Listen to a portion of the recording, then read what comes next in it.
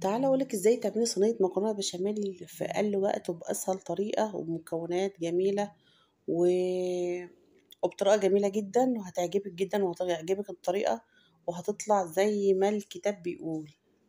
آم، النهاردة صينية المكرونة البشاميل اللي معانا يعني فيها شوية تريكات كده هتعجبك.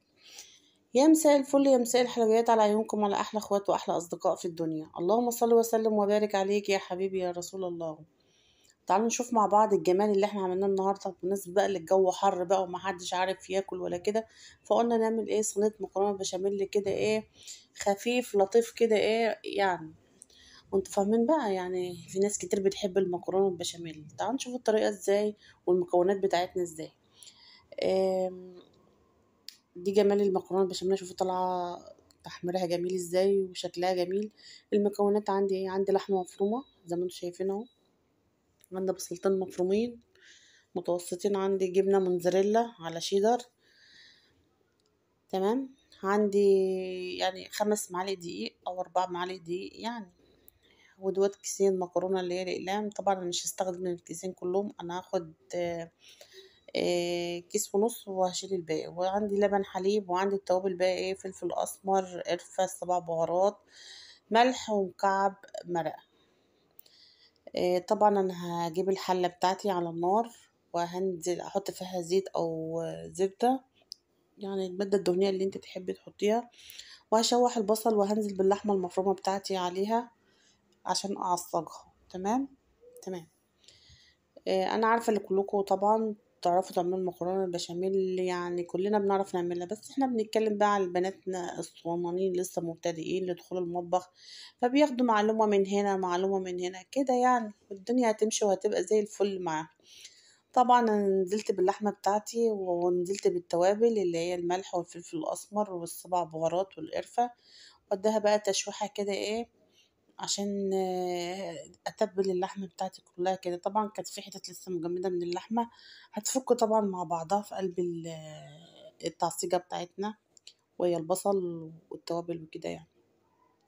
طبعا أنا قلبتها كده كويس. أنا هسيبها بقى إيه شوية كده وأبص عليها راح أعمل حاجة تانية.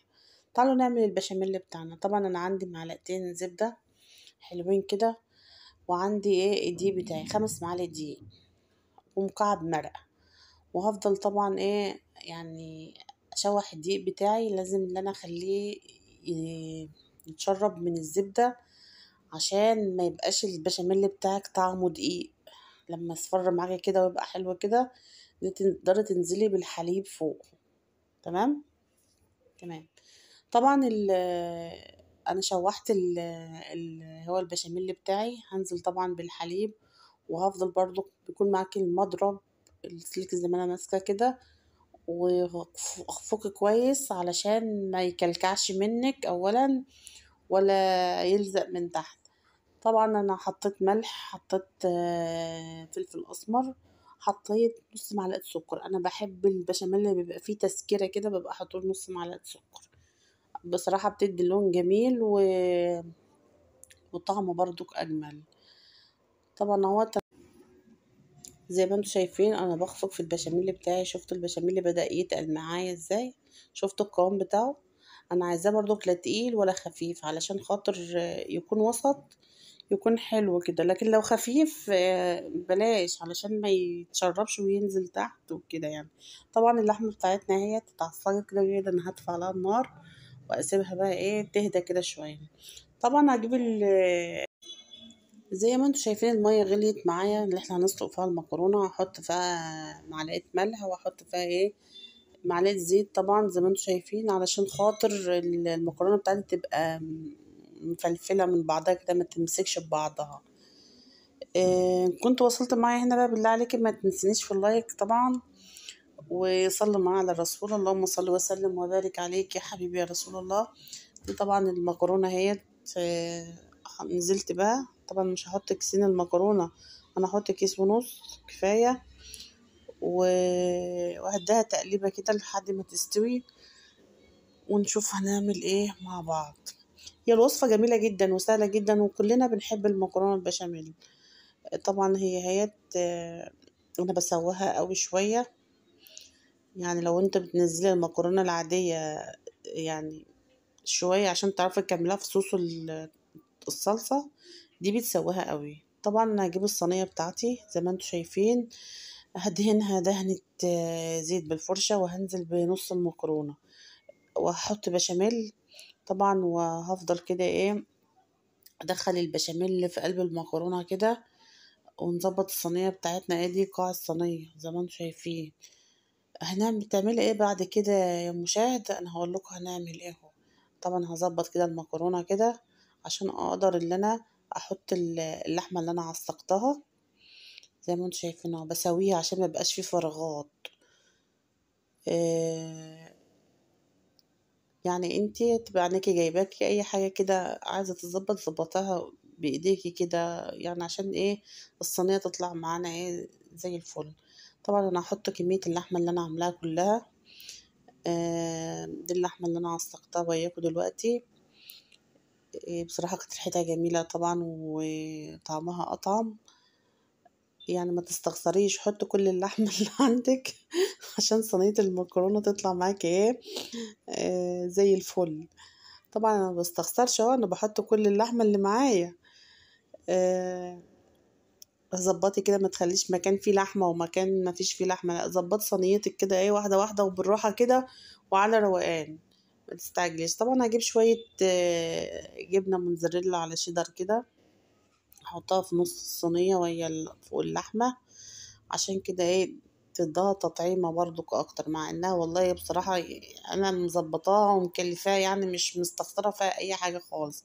ما إحنا عشان نعمل حاجة ناكلها يعني لازم نعملها بحب ما نستخسرش حاجة فيها ما تقلليش من مكوناتها. عشان تديك الطعم وتديك الحاجة المظبوطة لكن أنت لو عملتها آه صينية مكرونة وخلاص لأ طبعا. كل حاجة ما تديها حقها هتديكي طعم وهتديكي النتيجة اللي أنت محتاجاها في الآخر. طبعا هنزل بالبشاميل كده وبعد كده هسويه كله فوق الصينية زي ما أنتم شايفين.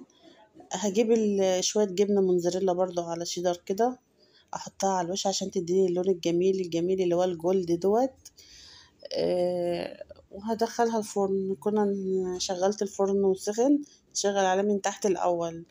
ولما تاخد كده شوية سوا من تحت هطلعها فوق على الشواية عشان تطلع إيه تاخد اللون الجميل اللي إحنا آه، حابينه. دول طبعا المكرونة البشاميل بعد ما طلعت من الفرن. إيه رأيكم؟ بجد بجد يعني حاجة فوق الخيال. تسلم إيدك يا مشاهد والله بجد بجد تحفة تحفة. جربيها بالطريقة دي والله تديكي نتيجة هايلة هايلة.